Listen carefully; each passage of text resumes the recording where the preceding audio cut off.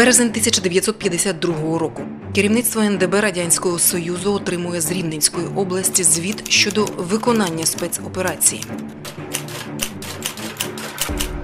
Член краєвого проводу ОУН ЗОД, він же Рибак, разом із районними провідниками ОУН Матвієм і Гнатом ліквідований 4 березня 1952 року під час чекійсько-військової операції в селі Сухівці Кливанського району. Кількарічне полювання радянських спецслужб на відомого українського і світового митця, повстанця, художника графіка Ніла Хасевича закінчилося.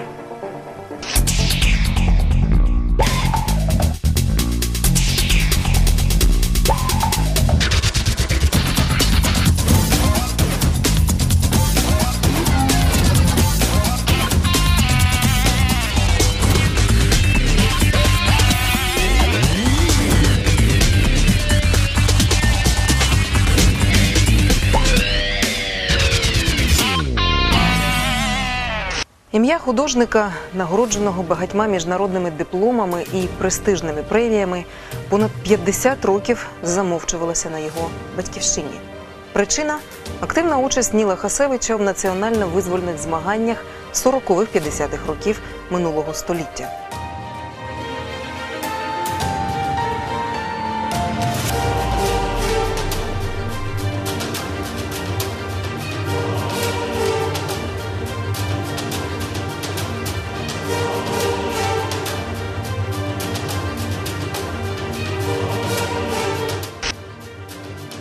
Замість загального визнання він обрав підпілля, замість богемного життя примітивний друкарський верстат у Криївці. Зброю художника, папір, олівець, дерево, долото радянська влада вважала не менш небезпечною, ніж справжню. Досьє Ніл Хасевич. Народився 25 листопада 1905 року в селі Дюксин Костопільського району Рівненської області. 1925 рік. Закінчив Рівненську українську приватну гімназію. 1930 рік стає студентом Варшавської академії красних митців. Бере участь у заснуванні мистецького студентського гуртка Спокій. 1931-1944 роки. Бере участь у 35 художніх виставках. Отримує міжнародні дипломи. 1939 рік. У Варшаві виходять друком художні альбоми, книжкові знаки Ніла Хасевича, Дереворити в Філадельфії, альбом Екслібрис Ніла Хасевича. Із 1935 року веде активну громадську та політичну діяльність, стає членом Волинського українського об'єднання, входить до центрального і краєвого проводів ОУН, стає членом Української головної визвольної ради. Перші духовні настанови Ніл Хасевич отримав у дитинстві від рідних людей. Він народився в селі Дюксин в сім'ї диякона і псаломника місцевої церкви Антона Івановича Хасевича та його дружини Феодотії Олексіївни.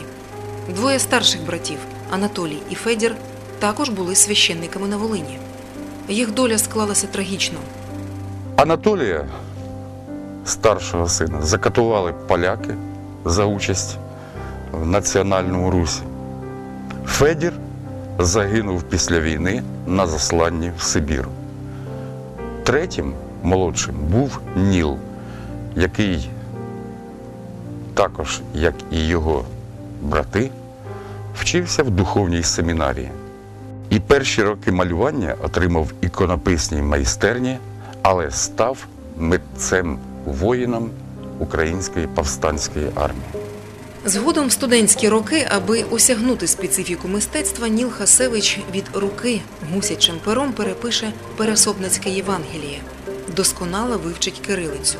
Мову малюнку, єдину, якою можна висловити все, він буде вивчати завжди і скрізь під час закордонного періоду, роботи в підпіллі, відкриваючи світу правду про радянське буття. Саме з Хасевичем пов'язують більшість візуальних матеріалів українського повстанського руху. Особливо силу духу, твердість характеру художнику вдалося загартувати ще з юнацьких років. Коли йому було 14, сталася трагедія, що залишить відбиток на все подальше життя. На одному із залізничних переїздів він разом з матір'ю потрапляє під потяг. Мати загинула відразу. А малого Ніла Хасевича відрізало ліву ногу. Та він не впав духом і вперто йшов до своєї мети, що вже саме по собі говорило про його вольові якості. Він власноруч змайстрував собі із дерева протез і все наступне життя він кульгав на ліву ногу. Ніл Хасевич продовжив оволодівати мовою мистецтва у рівному в художній майстерні Василя Леня. У 1926 році французька компанія, власниця залізниці, де Хасевич зазнав каліцтва, виплатила компенсацію. Гроші пішли на навчання в Академії красних мистецтв у Варшаві. Закінчить українську гімназію, закінчить цю школу, піде навчатись, е, подасть документи для навчання в Польщу, у Варшаву, в Академію мистецтв. Його зразу не приймуть, тому що не влаштовувала освіта. Поляки вимагали, щоб була польська освіта, але зарахують вільним студентом. Він закінчить польську гімназію, здасть екстерним екзамени і з 1929 року стане повноправним студентом. Буде вчитися е, художньої справи. Під час навчання він пробує себе в різних жанрах. У перші роки творчої кар'єри Ніл Хасевич проявив себе як живописець. Збереглася дуже невелика частина його робіт. Абсолютно зникла його живописна творчість, яка налічувала, якщо враховувати назви, які збереглися в каталогах виставок спокою, е, було коло 80 живописних робіт. До нашого часу не дійшло жодної живописної роботи Ніла Хасевича. Дійшли кілька чорно-білих світлин. Графічна спадщина збереглася краще завдяки тому, що і власне збереглася особливо прикладна частина його графіки, тому що це були логотипи часописів, це були обкладинки книжок. У Варшаві поступово відбувається перехід від живопису до графіки. Ніл починає займатися гравюрами, дереворитами. Графіки студент навчався у професора Владислава Скочеляса. Його екслібриси, його мала прикладна графіка, вони стали певною мірою класикою української графіки. Вони бездоганні не тільки в технічному ем, аспекті, вони мають чудову композицію, вони мають дуже цікаве інтелектуальне наповнення. Він, е, до речі, був дуже ерудованою людиною, про що свідчать збережені статті, кілька статей, які він друкував в газеті Волинь, е, про що свідчить е, кілька листів, які вдалося віднайти в архівах. Його роботи, створені у галузі документальної, станкової, книжної графіки, отримали визнання на батьківщині в Європі, Америці. Під час навчання Хасевич листувався з митцями із Австрії, Угорщини, Бельгії, Нідерландів тощо. У 1931 році його полотно Прання відзначене премією Ватикана. В наступному 32 році за портрет гетьмана Мазепи одержав диплом Варшавської академії. А у 1937 році здобуває третій грошовий приз на міжнародній виставці гравюр у Варшаві. Та він вирішив присвятити своє життя боротьбі за незалежність своєї батьківщини України. 1951 рік Міністерство державної безпеки СРСР надсилає термінове повідомлення УМДБ в Рівненській області. Гравюри з повстанського підпілля потрапили до делегатів Генеральної асамблеї ООН. Цей альбом у провокаційних цілях широко розповсюджується на заході. Його підкидають до посольств, журналістам-міжнародникам, делегатам сесії Генеральної асамблеї ООН. Задум провокаторів зрозумілий переконати громадську думку заходу, що в Україні не би йде масова збройна боротьба проти радянської влади. Завдання розшукати автора малюнків і припинити його антирадянську діяльність. Ці провокаційні малюнки, що наробили галасу серед кадебістів і представників радянської влади, були надруковані за океаном. Увійшли до збірок графіка в бункерах УПА Волинь у боротьбі. Це доробок Хасевича воєнної і повоєнної доби 150 дереворитів. Він міг би мати непогані статки, заробляючи мистецтвом, улюбленою справою, живучи за кордоном. У 30-ті роки Ніл Хасевич виставляється в художніх салонах Львова, Праги, Берліна, Чикаго, Лос-Анджелеса. У 32-му році в українській загальній енциклопедії з'являється пояснення Ніл Хасевич великий український маляр. У 34-му році художник бере участь у міжнародній виставці дереворитів у Варшаві. Талановитого неординарного митця порівнювали з Юрієм Нарбутом, Василем Кричевським, Іваном Трушем. Початок 40-х років ХХ століття ще один переламний етап в його житті. Шлях у велике мистецтво для українського художника виявився закритим через небажання приймати польське громадянство. У 39-му році Ніл Антонович повертається на Волинь. ставлення е, до українців е, як е, бездержавників на той час було дещо таке е, е, специфічне з боку європейців. То Ніл Хасевич е, мав такий характер твердий, він хотів показати, що він абсолютно представник повноцінної культурної освіченої нації, і тому він не, потребував якихось таких ну, поклонів до чужинців. Він показував свої можливості професійним хистом. На батьківщині Ніл Хасевич спочатку працював учителем у місцевій школі, бухгалтером у сільпо і постійно малював. В 1941 році призначений мировим суддєю в Деражному. Він розглядав справи, десь хтось перейшов межу якусь, десь пра- неправильно десь е, хтось не хоче платити аліментів, хтось десь посварився, побився. Отакі справи. Це документи, які підтверджують про те, як чим займався Ніл Хазевич, коли був мировим суддею. Хасевич починає активно займатися громадською і політичною діяльністю. Досьє Ніл Хасевич. Із серпня 1941 року працює в редакції газети Волинь у Рівному, редактор Ула Самчук. Публікує статті про графіку Українське мистецтво, стає членом спілки праці українських образотворчих митців, що діяла у Львові. 1942 рік вступає до лав УПА. Псевдоніми Бейзот, Старий, 333, Рибак, Джміль, Левко. 1942-1952 роки. Член краєвої референтури пропаганди на північно-західних українських землях. 1943-1944 роки. Створює галерею портретів бійців і командирів УПА, розробляє плакати публіцистичного характеру, карикатури на радянський режим. 1948 рік. Нагороджений Українською головною визвольною радою Срібним хрестом заслуги. Хасевич зробив свій вибір: підпільна Криївка, кочове життя і військова справа, підкріплена повстанською ідеологією, незалежність України від комуністичного і нацистського режимів.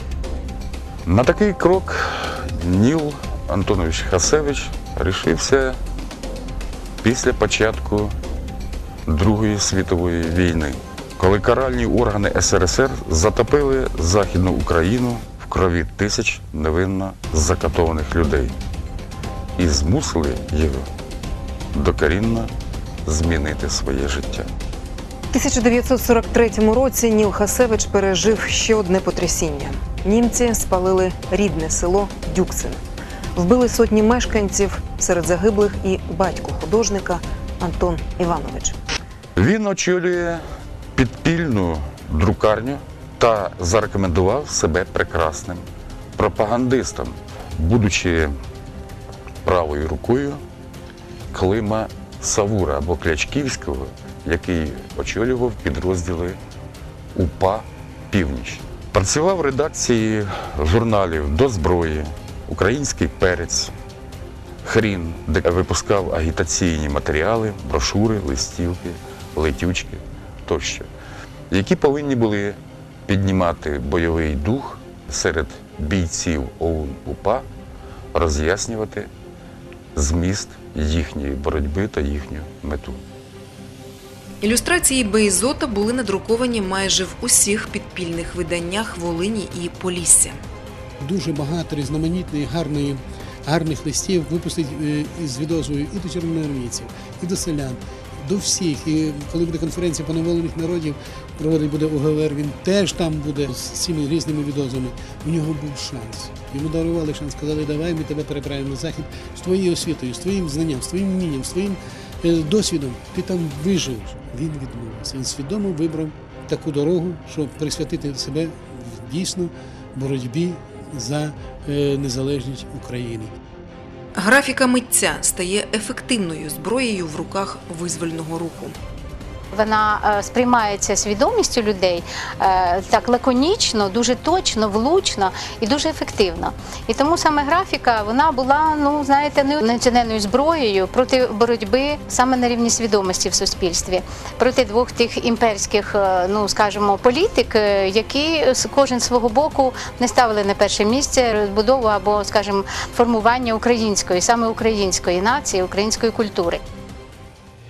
Умови для праці в підпіллі були надзвичайними: примітивний друкарський верстат, світло від газової лампи, брак відповідного матеріалу.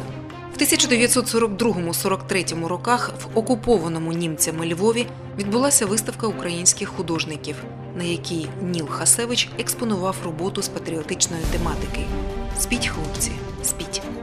Він створив свою авторську концепцію е, графіки і вибудовував свою е, доктрину мистецьку, е, пов'язаною з національною ідеологією для сучасного українства в обставинах війни з московським агресором. Це є принциповий такий приклад для всіх нас, скільки може зробити одна людина для того, щоб мобілізувати е, дух і дати е, певний е, особистий приклад, як треба протистояти будь-якому ворогу.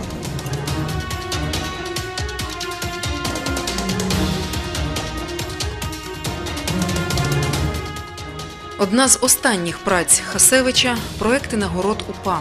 У квітні 1950 року він надіслав проекти до головної команди УПА. У листі детально описав, як можна виготовляти ордени, жетони та стяжки в умовах підпілля.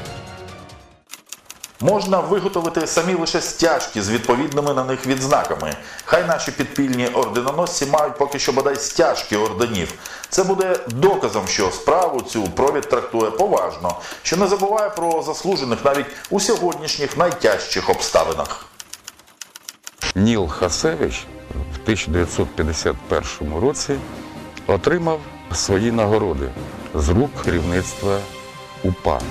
Це срібний хрест заслуги та медаль за боротьбу в особливо важких умовах. Йому належить також ідея виготовлення бофонів, які він виготовив в умовах підпілля. Бофони це своєрідні папери, цінні на створення бойового фонду українського підпілля.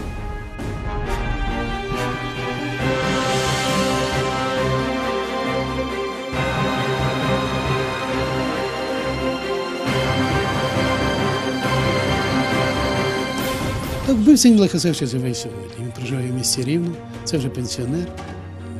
Йому близько 90 років Борис Стеклер. Він керував, керував операцією по знешкодженню Ніла, тому що коли в 1949 році перші листі, листівки Ніла от такого е, характеру, де показував, що на нашій на Західній Україні йде війна, попали під двері делегатів е, Генеральної асамблеї ООН, то з Москви прийшла чітко вказівка знищити. Ось тоді відкриється повністю. Хоч і раніше була, було полювання за нілом, а тепер буде безпосередньо буде призначена, е, призначена бригада, буде призначений керівник Борис Стеглер, який отримує собі капітана ще помічник із Сумської області і кагибістів місцевих, і розпочнеться справжнє полювання за Нілом Касовичем. До спеціальної міжобласної групи радянських спецслужб, що розробляла операцію з ліквідації особливо небезпечного повстанського художника, окрім заступника начальника відділення другого відділу УМДБ Рівненської області капітана Бориса Стеклера, увійшли капітан Маркелов і Кудрицький. Для збирання інформації був задіяний чималий агентурний апарат чекістів. Детально вивчалися твори художника-підпільника. На роботах з альбому Волинь у боротьбі відчитали ініціали, своєрідний підпис майстра, накладені одна на одну літери Н і Х. Встановили, що в раніше захоплених документах фігурував Ніл Хасевич. Значна увага приділялася розшифровуванню грипсів, захоплених у ліквідованих Криївках. Криївка це особливий вид житла українських повстанців, які ховалися у лісах від німців. Німці боялися лісу. То для німців це було так. Вони не дуже шукали Криївок. А от більшовицький режим показав, що це для них було в першу чергу. І тому там 10 різноманітних організацій, СМЕРШ, КГБ, міліція, НКВД. Все оце було направлено на те, щоб викрити оці викурить, знищить повстанців. Тому вона будувалася під землею. Бо іноді доходило, що було більше ніж 5 метрів. Вона будувалася з таким чином, що не затопила вода, був скат води, був, е, було двох'ярусний лежак. На різну кількість людей робилося по-різному. Де була, е, була в Криївці і буржуйка, але вона палилася раз в тиждень, рідко два, на якій готувалася їжа. Це робилося тільки вночі. Була паличка, де зберігалися літери. Вони просто сиділи. Вони себе вдосконалювали, вони е, займалися навчанням в політичному плані, в плані матеріальної бази, конспірації, розвідки. У захоплених шифрувальних повідомленнях, начебто, нічого складного не було: цифри, крапки, літерні позначки. Втім, чекісти виявили особливу прикмету уколи голкою під буквами в різних словах. Шифровку вдалося прочитати. В одному з цих документів йшлося про заготівлю для художника необхідних для нього матеріалів. Це 5 кілограмів паперу та вишневе дерево для дерев'яних заготівок. Там же було названо місце знаходження однієї з останніх на Волині Криївок біля села Сухівці за 12 кілометрів від Клевання у Рівненській області.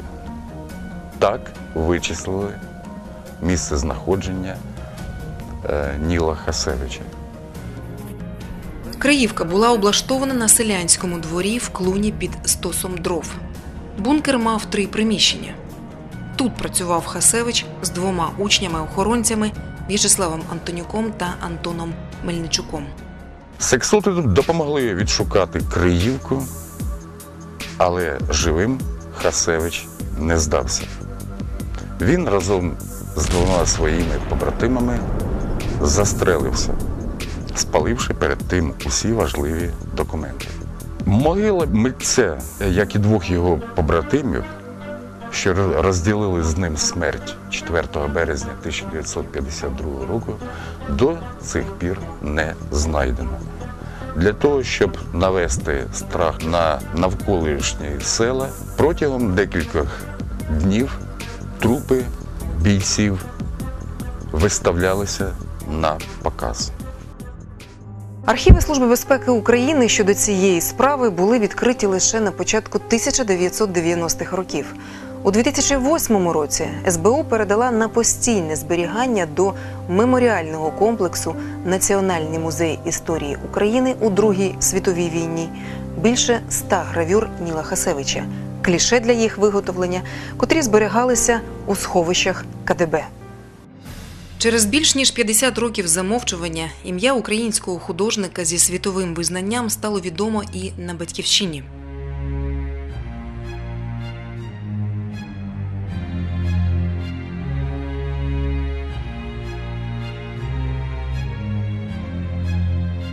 коли ми почали досконало вивчати історію Ніла Антоновича Хасевича, саме тоді з'явилася задумка, зрозуміло, поставити відповідний знак.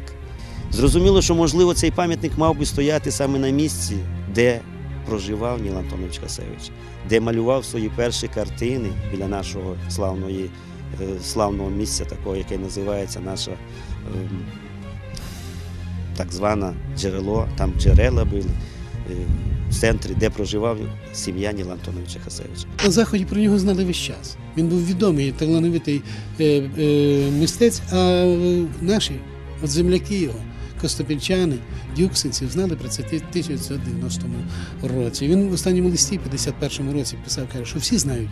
Кагібісти знають, хто такий Бейт Зот. Шкода каже, що наші земляки не знають, хто.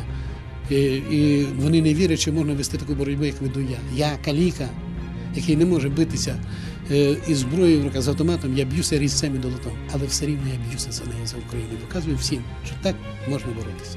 Ніл Хасевич він є таким уособленням або ж таким от символом, знаєте, такого справжнього українського духу, який може протистояти агресії, може протистояти е, засилю чужого, несправжнього. І тому знати це для нас важливо, щоб ми е, були більш впевнені в собі, щоб ми, знаючи той спадок, який він передав, на сьогодні були більш впевнені в своїх силах.